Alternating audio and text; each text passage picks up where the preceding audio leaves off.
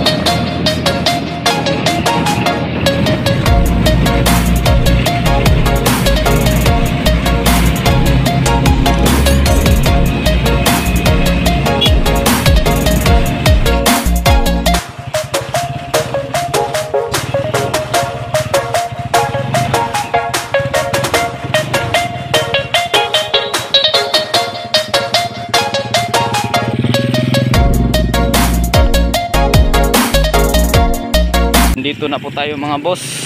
Dumating na po tayo sa lugar kung saan tayo kuha ng mga biik. Dito po tayo nakabili ng mga biik mga boss. Tapos nakatawad tayo ng konti. Ito po mga boss. Ayun. Yun po mga boss. Nandun na sa may kulungan mga boss.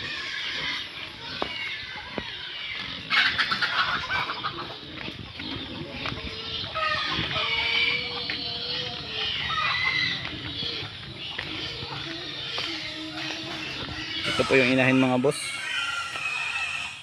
Pero yung ama po nito, yung barako, pure dorok po.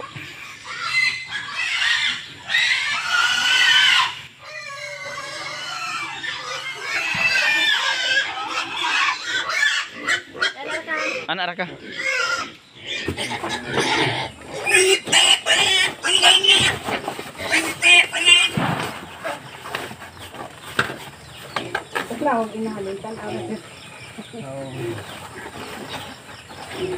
Dik dik dik dik dik dik.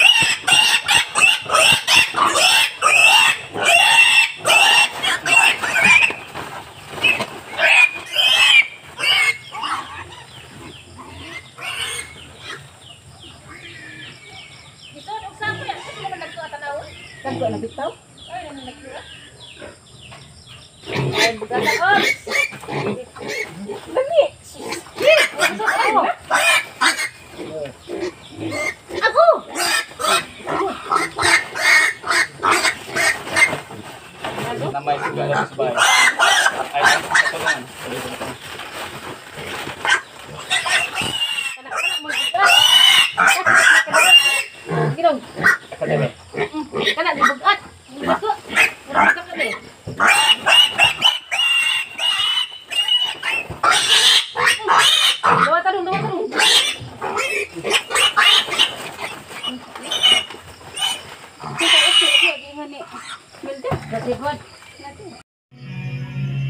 Yan po yung pinagdagyan ko mga boss. Sabi ko po mga boss. A few minutes later. Ito na pala. Yan po mga boss. 2.5 yung benta ni ate yan dyan mga boss. Tapos may konting tawad po tayo mga boss kasi po binili natin lahat mga boss. Walo po ito mga boss. Yan po mga boss. Kaso nga lang halos babae po yun mga boss pero sige lang. Dito na lang tayo kukuha ng gawing inahin kung maganda talaga yung ano kala ano paglaki nito. Pero sa tingin ko mga boss okay naman. Kaso nga lang sa pagka ano sa ngayon di pa natin masasabi kasi sa labas to gumagala mga boss kaya ito sobrang dumi po mga boss yan po yung katawan nila mga boss. Putik po. Dahil kakarating lang po na ng mga biik natin mga boss. Ilagay natin to sa inumin mga boss. Maglagay tayo ng elect V po mga boss. Lagay natin doon to mga boss. Haluin natin mga boss. Yun na po mga boss. Nailagay na po natin yung inuman nila mga boss para po sa drinker. Isa lang drinker lang po mga boss yung inayos ko dito mga boss. Pero okay lang po yan kasi tinatsagaan ko na lang po yung kulungan namin. Malapit na itong ma-repair. Ito mga boss. Yung nabili nating mga biik mga boss. Six and a half hours later. Ito na po sila mga boss. Yan po.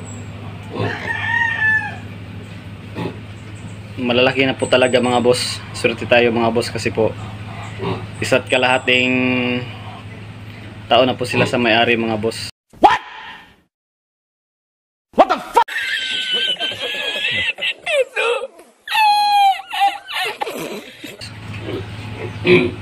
Yun lang po mga boss. Maraming salamat po. Paki-subscribe at click notification bell na lang po mga boss para updated kayo sa sa sunod, susunod na video natin mga boss about po sa mga pigs mga boss. Maraming salamat po. God bless.